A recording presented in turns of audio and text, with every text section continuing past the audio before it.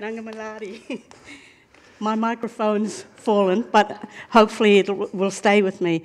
Uh, Nangamalari Amba, Nangamalari Uran, uh, Nangamalari um, Gadigal Eora Buru, Nangamalari Amburinyi Buru.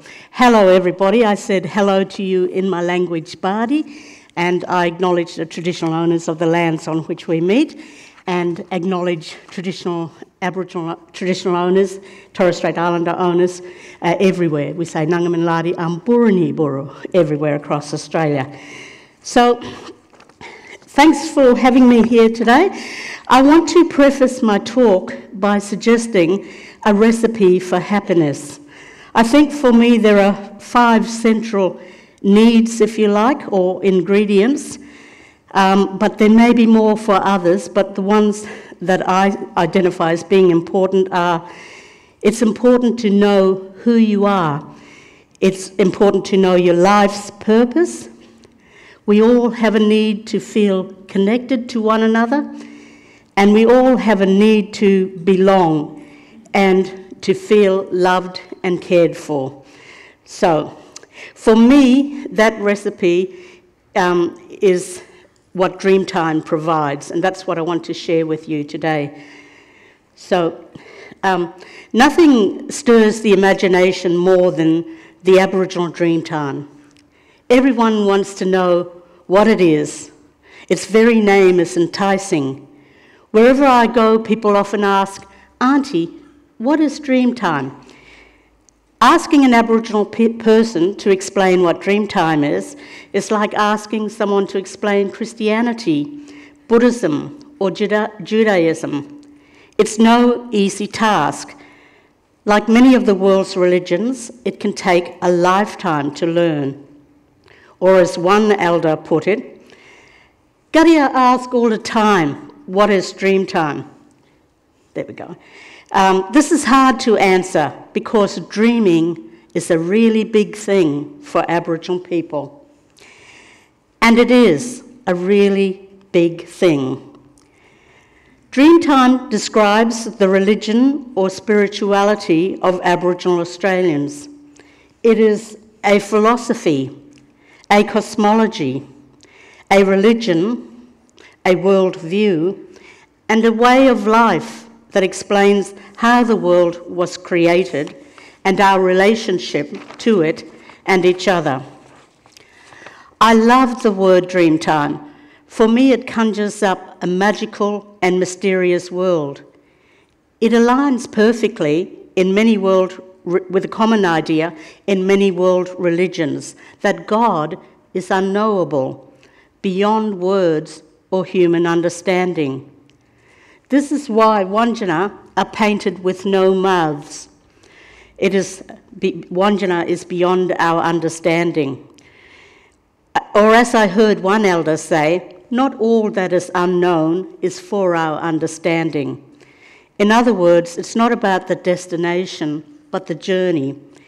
We don't always have to know where we're going. I know people worry about that all the time, but we just have to trust and go with the flow. Or, as a wise woman, Auntie Miriam Rose says, we cannot hurry the river. We have to move with the current and understand its ways. And the way that we do it is to immerse ourselves in nature and just sit and contemplate. Auntie Miriam offers an Indigenous meditative practice called Dadirri, or deep listening. And all of the Indigenous nations across Australia have their own version of Dadirri, it's just called by different names. People often confuse dream time with ordinary dreaming and sleep. But while dreams are part of dream time, it is by no means limited to this. Rather, it's an expansive consciousness that deals with larger issues such as the meaning of life and everything in between. Another question I'm asked is uh, Auntie, what does it mean to have kangaroo, possum, or some other dreaming? Well, dreaming is all about helping people spiritually. It teaches us how to cope with life, by identifying the issues and challenges we need to face. By learning from our dreaming or our totem, we develop a strong sense of self and well being so that we can better contribute to society. Essentially, our dreaming helps guide us through life. It helps identify those things you need to master to know who you are on life's journey. Through this process of self discovery, people become aware of their calling or vocation in life. Ultimately, this means you know who and what you are in terms of a symbol. So, my question to you is Do you know what your symbol or dreaming is? Now, some of you may already know what that is, or perhaps you've never contemplated it before. If that's the case, then let me ask you this. If I say the words to you, red sack, red sack, what comes to mind? Does anyone want to offer anything? What comes to your mind when you think about red sack? Spider. Spider, yep. Anything else? Turkey, yeah. Handbag. Handbag. I love that. Sorry? Santa, yes. Oh, yes, a core like a centre. Fan, fantastic. I'll come back to this about red sack in a moment. Um, but for me, my symbols, my family dreaming is Nimanbor, the fruit bat, while my personal dreaming is Arlen, the white chested sea eagle. So, what do they teach me? Well, my family's bat totem enables me to see things from a new perspective especially from an upside down point of view. Whenever I want to look at an issue in a new light, I literally hang upside down like a bat, and I can easily see new solutions and possibilities that I am otherwise unable to. Bat dreaming also teaches me about self care and self protection in the way that bats envelop themselves in their bat wings. Their heightened sense of sonic hearing teaches me to go beyond the limitations of human hearing, to attune myself to unseen worlds and unsaid words, to listen deeply. I do this through Indigenous practices like Dadirri by using what I call dreaming ears. My personal symbol or dreaming is Arlen, the white chested sea eagle. Eagles fly high in the sky so they can see far and wide. And because they can see the lay of the land, they can see the bigger picture. But when you, know, when you need to hone in on the finer details, they can do that too. Everyone and everything have dreaming, as strange as that may sound. Crows have dreaming. Barramundi have dreaming. Clouds have dreaming. To say that everyone and everything has dreaming is to say that everything is consciousness. When people talk about dreamtime, they often mistakenly do so as a relic of the past. But this frozen view ignores the dynamic nature where the past, present, and future are one. In the Aboriginal worldview, time is not linear but a circle, symbolised by the dot. Western science has only recently come to this realisation, largely through the work of quantum physics. Beyond the circular nature, nature of time, the dot reveals a deeper psychological understanding of ourselves which is why it features so prominently in, our, in Aboriginal art. The circle or dot contains everything. It is the still place where duality or opposites are reconciled, above and below, light and shade, male and female. To Indigenous people, it is all this and more. The circle is a sacred symbol reminding us of the importance of our unique place in the universe and our relation with all things. The more that we are able to understand the circle of life and our place within it, the more we are able to understand ourselves, our purpose, our responsibilities, and our medicine. Medicine, like dreaming, refers to the spiritual essence within all things that can not only help you discover your life's purpose, but to help you live a good, happy life. Dreamtime teaches that you are not alone in this world, that you are more connected than you realize, that you are related to every living being, animal, plant, and object, that you are family, and that you belong. How incredibly empowering this realization is to the embattled, the dispossessed, and those who are lost and have lost hope. This is why my mentor and spiritual teacher would often remind me Munya, Dreamtime is not just for Aboriginal people, it's for everyone.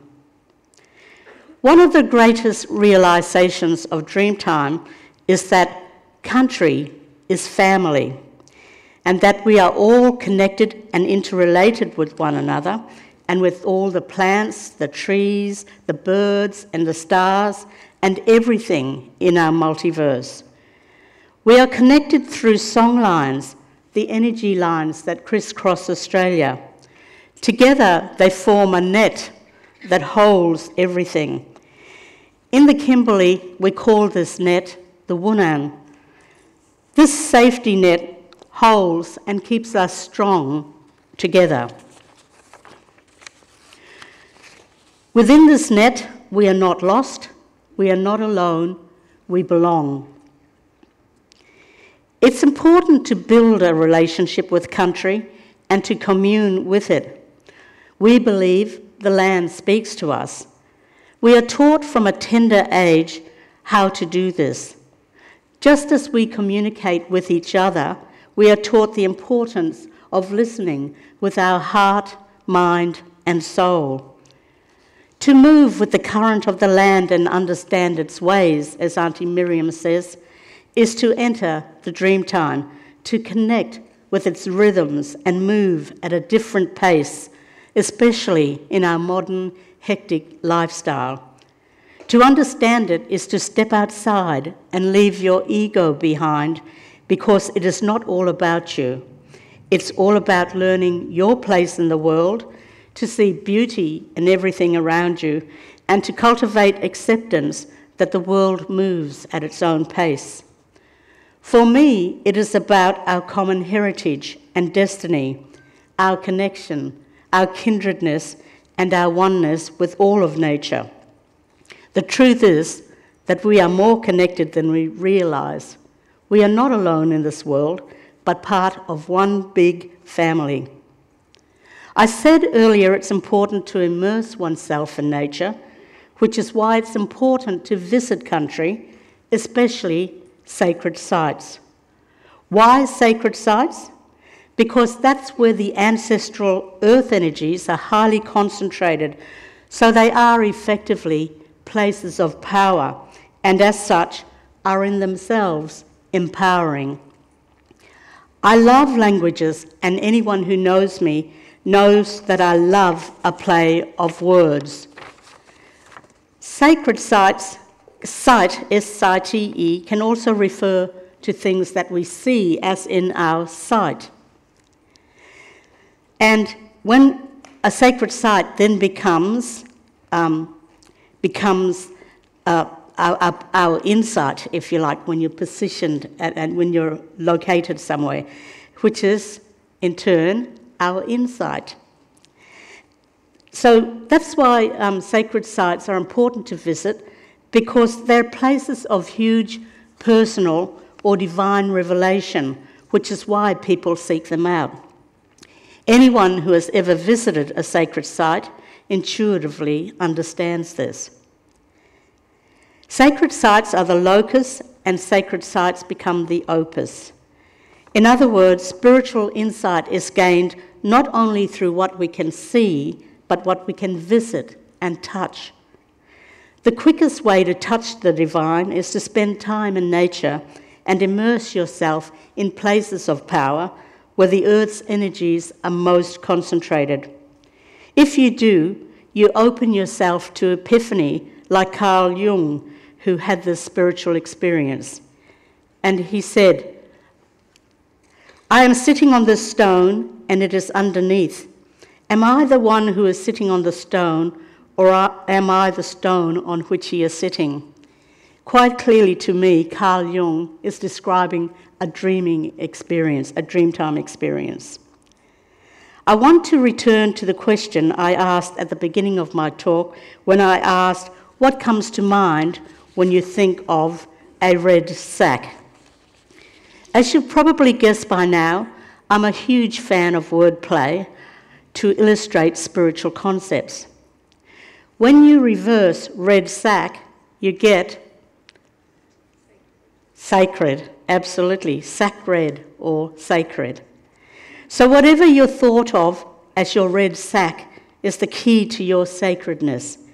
It will point the way, whether it is what you thought of as the heart or a handbag or Santa's Christmas bag, or as one man suggested one time, testicles. it doesn't matter. It's the suggestion that a symbol is so much more, and that meaning is personal to you. When I look at the word red sack, for example, I see several things that tell me how special it is. The first thing I see is the colour red, as celebrated in our red ochre, which is the primary colour of Aboriginal law business, or Uluru, which is a very important red sack or sacred site. More importantly, red symbolises blood, the life force, which is why it is sacred. And within the sacred, I see the words scar and scarred. Scars speak to initiation, and to be scared is to be in awe of something much more powerful than ourselves. So, being scarred is another way of saying you're scared, which is about having respect for something greater than us. Acknowledging sacredness in all its forms is about respecting a higher power. Red sack is also code for the way of the heart, which is all about love. Aboriginal culture and spirituality have much to offer humanity. Dreamtime is ultimately an ethics code that teaches respect for all things and being mindful of the consequences of our actions and behaviour on those we share the planet with the creatures, the rocks, the rivers, trees, and mountains. And if I can leave you with just one thought for today, it is this. As you move through this world, just remember that so called drunk or drug addict or homeless person on the street may be a wise sage, and that kangaroo, possum, or tree may be an elder, teacher, mother, father, brother, sister, son, or daughter. And as with any family or tribe, there is a deep, abiding sense of community.